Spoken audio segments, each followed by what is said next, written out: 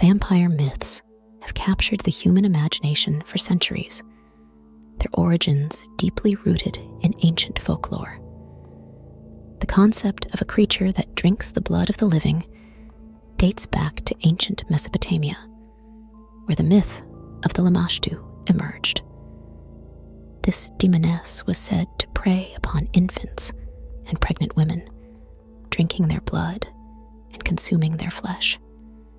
Similarly, in ancient Greece, there were tales of the Empusa, a demonic being who would seduce men and drink their blood during sleep.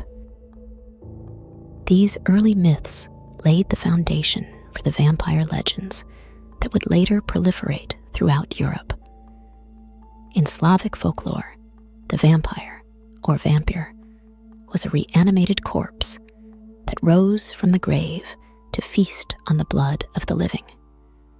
This creature was often associated with plague and disease, as outbreaks of illness were sometimes blamed on vampire activity. The belief in vampires was so strong that communities would exhume bodies suspected of being vampires and perform rituals to prevent them from rising again. Connection between vampire myths and biblical times is intriguing. The ancient Hebrews had their own beliefs about creatures of the night. One notable example is the figure of Lilith, who appears in Jewish mythology as a night demon. According to some traditions, Lilith was Adam's first wife who refused to submit to him and was subsequently cast out of Eden she became a demoness who preyed on newborn children and pregnant women, much like the Lamashtu. While Lilith is not explicitly mentioned in the canonical Bible, references to her can be found in the Dead Sea Scrolls and other apocryphal texts. The idea of consuming blood also has significant resonance in the Bible. In the book of Leviticus, chapter 17, verses 10 to 14, the consumption of blood is strictly prohibited. And whatever man of the house of Israel, or of the strangers who dwell among you, who eats any blood, I will set my face against that person who eats blood, and will cut him off from among his people. For the life of the flesh is in the blood. This prohibition can be interpreted as a divine command against the very essence of vampiric activity. The act of drinking blood in this context is not only a violation of dietary laws, but also a symbolic act of taking life, something reserved for God alone. The book of Proverbs, chapter 30, verse 14, offers a metaphorical depiction that some interpret as reflecting vampiric imagery. There are those whose teeth are swords and whose jaws are set with knives to devour the poor from the earth and the needy from among mankind. This verse vividly illustrates the destructive nature of those who exploit and consume others, resonating with the predatory essence of vampire myths.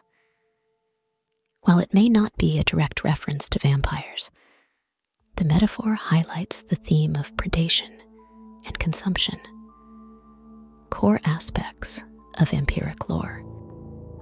Additionally, in the book of Isaiah, chapter 34, verse 14, there is a reference to Lilith, which can be seen as an allusion to night creatures and vampiric myths. Wildcats shall meet with hyenas goat demons shall call to each other. There too Lilith shall repose and find a place to rest. The mention of Lilith, often associated with demons and night spirits, aligns with the portrayal of vampires as nocturnal predators. This verse underscores the presence of night dwelling, supernatural entities within the broader biblical context providing a parallel to vampire folklore.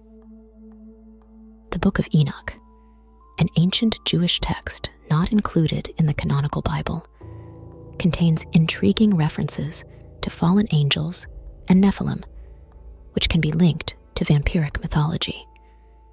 In this text, the fallen angels, known as the Watchers, descend to earth and mate with human women, producing offspring called Nephilim.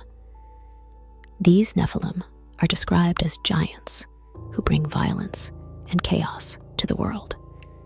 Their insatiable hunger and predatory nature can be seen as parallels to the characteristics of vampires, emphasizing themes of corruption, unnatural desire, and the blending of human and supernatural elements. In conclusion, while the Bible does not explicitly mention vampires, the cultural and religious context of blood consumption and night creatures provides a rich tapestry of themes that intersect with vampire mythology. The ancient fears and taboos surrounding blood and death resonate with the vampire legends that emerged in later centuries, illustrating a deep seated human concern with life, death, and the supernatural. These connections invite us to explore the intricate ways in which myth, religion, and folklore intertwine, offering a profound reflection on the mysteries of existence.